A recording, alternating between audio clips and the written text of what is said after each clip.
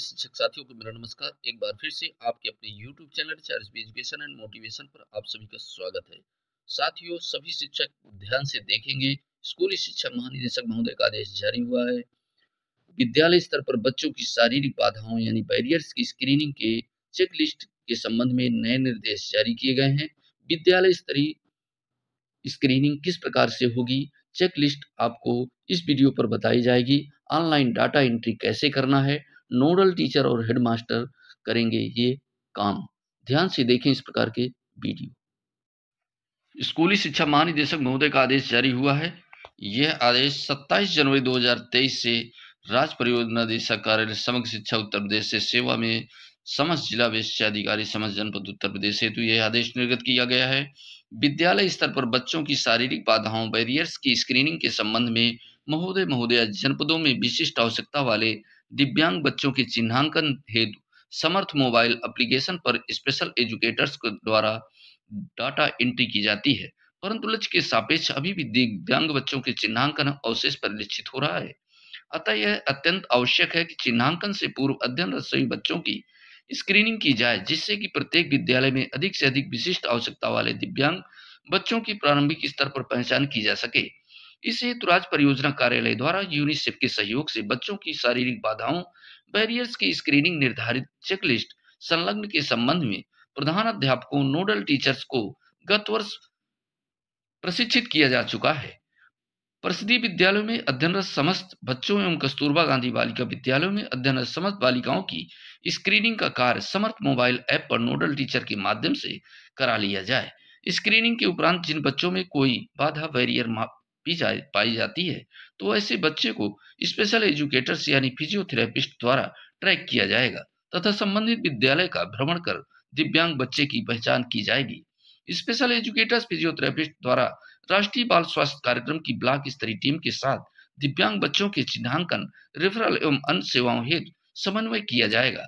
उक्त गतिविधि को संपादित कराए जाने हेतु निम्नलिखित कार्य किए जाने हैं। स्क्रीनिंग के संबंध में जागरूकता राज्य परियोजना कार्यालय स्तर पर दिनांक पाँच जनवरी 2023 में नोडल टीचर, समस्त स्पेशल एजुकेटर्स फिजियोथेरेपिस्ट एवं जिला समन्वयक समय की शिक्षा के लिए प्रस्तावित यूट्यूब सेशन में नोडल टीचर्स एवं जिला समन्वयक समय की शिक्षा को दिव्यांग बच्चों की स्क्रीनिंग के संबंध में उन्मुखीकृत किया जाएगा। यूट्यूब सेशन के उपरांत जनपद स्तर पर जिला शिक्षा अधिकारी की देखरेख में समस्त खंड नगर शिक्षा अधिकारियों की बैठक आयोजित की जाएगी, जिसमें जिला समन्वयक समय की शिक्षा एवं समस्त खंड शिक्षा अधिकारियों को बच्चों की स्क्रीनिंग तथा स्क्रीनिंग चेकलिस्ट के संबंध में प्रशिक्षण दिया जाएगा। विद्यालय स्तरीय स्क्रीनिंग प्रदेश के समस्त परिस्थिति प्राथमिक, उच्च प्राथमिक एवं कंपोजिट विद्यालयों में अध्ययनरत समस्त बच्चों तथा कस्तूरबा गांधी बालिका विद्यालयों में अध्ययनरत समस्त बालिकाओं के शैक्षिक समावेशन में आने वाली बाधाओं यानी बैरियर्स की पहचान संलग्न चेकलिस्ट के आधार पर की जाएगी। यह कार्य दिनांक छह से तेईस जनवरी 2023 की अवधि में समस्त संबंधित विद्यालय के नोडल टीचर द्वारा अवलोकन ऑब्जर्वेशन के द्वारा किया जाएगा। स्क्रीनिंग कार्य ऑनलाइन डाटा एंट्री विद्यालय में नोडल टीचर्स द्वारा अवलोकन के उपरांत ऐसे बच्चे चिन्हित किए जाएँ, जिनका शारीरिक बाधाओं बैरियर्स के कारण शैक्षिक विकास अवरुद्ध हो रहा है। विद्यालय स्तर पर नोडल टीचर्स द्वारा चिन्हित बच्चों की स्क्रीनिंग समर्थ मोबाइल ऐप पर निर्धारित चेकलिस्ट फॉर्मेट में की जाएगी। नोडल टीचर्स द्वारा यह कार्य दिनांक छह से 20 फरवरी 2023 के मध्य पूर्ण कराया जाएगा।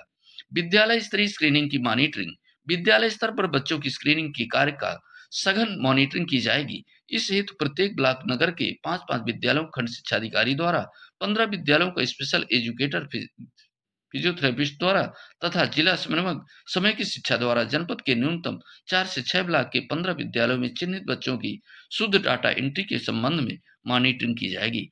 कार्यक्रम के सघन मॉनिटरिंग सपोर्ट हेतु राज्य स्तर पर समय की शिक्षा यूनिट जनपद स्तर पर जिला समन्वयक समय की शिक्षा, ब्लॉक स्तर पर खंड शिक्षा अधिकारी तथा समर्थ पोर्टल पर नियमित रूप से अनुश्रवण किया जाएगा। विद्यालय स्तरीय स्क्रीनिंग के डाटा को साझा करना, समर्थ पोर्टल पर स्क्रीनिंग चेकलिस्ट में सावधानी पूर्वक डाटा एंट्री सुनिश्चित की जाए।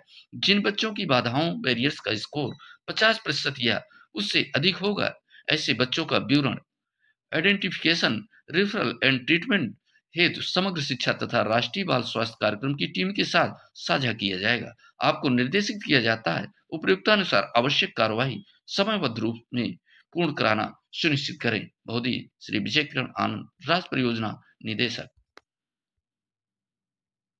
ये साथियों चेक लिस्ट है आपके सामने, इसको ध्यानपूर्वक देखिएगा।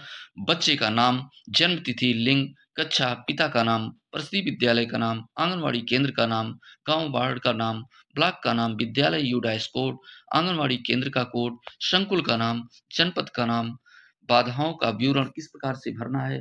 पहला कोड रहेगा डी में बच्चे को चलने में या सीढ़ियों पर चढ़ने के लिए किसी की सहायता की आवश्यकता होती है, यहाँ हाँ या नहीं में, बच्चे को अपने शरीर के किसी अंग अथवा हाथों का उपयोग करने, घुमाने में, लिखने व खाना खाने में कठिनाई होती है। जो भी यस नो में रहे ऑप्शन यहाँ पे आपको क्लिक करना है। बच्चे के शरीर के किसी अंग में विकृति दिखाई दे रही है, जैसे कि हाथ पाए पैर व रीढ़ आदि टेढ़े मेढ़े हैं। बच्चे के हाथ, पैर जन्म से ही नहीं है अथवा किसी घटना से कट गए हैं। बच्चे के शरीर का समन्वय संतुलन कमज़ोर है। बच्चे के अंगों में कठोरता है एवं झटके के साथ चलता है, चलती है। बच्चा नियंत्रित रूप से चलता चलती है। बच्चे को बोलने में कठिनाई होती है बोलते समय पर बहती है। बच्चे द्वारा वस्तुओं को पकड़ने व एक जगह से उठाकर अन्य जगह पर रखने में कठिनाई होती है। वह दोनों आँखों से कुछ भी नहीं देख सकता या सकती है। बच्चे की दोनों आँखें एक जैसी नहीं है, या आँखों में भेंगापन है। बच्चे को स्पष्ट दिखाई नहीं देता है, यह धुंधला दिखाई देता है। बच्चे को धीमी रोशनी में अथवा रात में देखने में कठिनाई होती है। बच्चा रोशनी प्रकाश के स्रोत की और जाने में आसानी महसूस करता है करती है। बच्चा किसी वस्तु को देखने के लिए उसे बहुत दूर या बहुत पास रखता है, रखती है। बच्चा किसी वस्तु को देखने के लिए ज़ोर लगाता है या उस पर ध्यान केंद्रित करता है, करती है। बच्चे को बुलाए जाने पर प्रतिक्रिया नहीं करता या करती है। बच्चा अपने कान को बोलने वाले व्यक्ति की दिशा की ओर मोड़ता या मोड़ती है। बच्चा सामान्य ध्वनि को अथवा अपने सहपाठी की बातों को आसानी से नहीं सुनता या सुनती है। बच्चे को वातावरण की ध्वनियों ध्वनियों को सुनने में मुश्किल होती है, जैसे स्कूल की घंटी, व्यक्तियों की बुलाने की आवाज़ आदि। बच्चा बहुत तेज या बहुत धीमी आवाज़ में बोलता है। बच्चा बोलते समय हगलाता या तुतलाता है, या स्पष्ट नहीं बोलता है जैसे कि चम्मच को, वह चम्मच या तम्मत बोलता, बोलती है। बच्चा सामान्य ध्वनि को सुनता, सुनती, परंतु उसे स्पष्ट रूप से बोलने में परेशानी होती है। बच्चे के मुँह में कोई विकृत, कटा ओठ, तालू में छिद्र जीप जुड़ी हुई आदि दिखाई दे रही है। बच्चे का विकास अन्य बच्चों की तुलना में धीमा या कम है। बच्चे को स्वयं की देखभाल करने जैसे कि खाना खाने व कपड़े पहनने की कठिनाई होती है।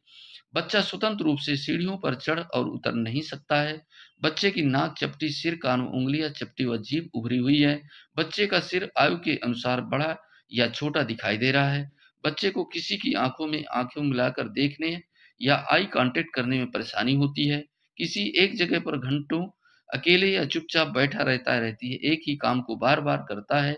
बच्चे को समूह में या सहपाठियों के साथ खेलने में असहजता या परेशानी होती है।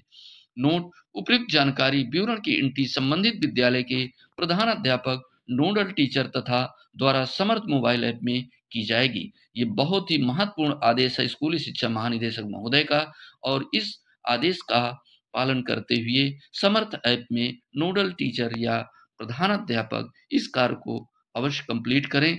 और साथियों, यदि आप चाहते हैं इस प्रकार के इन्फॉर्मेटिव वीडियो आपको एक ही प्लेटफॉर्म पर मिले तो इस चैनल को सब्सक्राइब कर लीजिएगा। यदि ये वीडियो पसंद आए, उपयोगी लगा तो वीडियो को लाइक कीजिएगा। ज़्यादा से ज़्यादा शिक्षक साथियों को शेयर कीजिए, ताकि ये भी अपडेट कर सकें। नए वीडियो के साथ मिलेंगे, तब तक के लिए जय हिंद।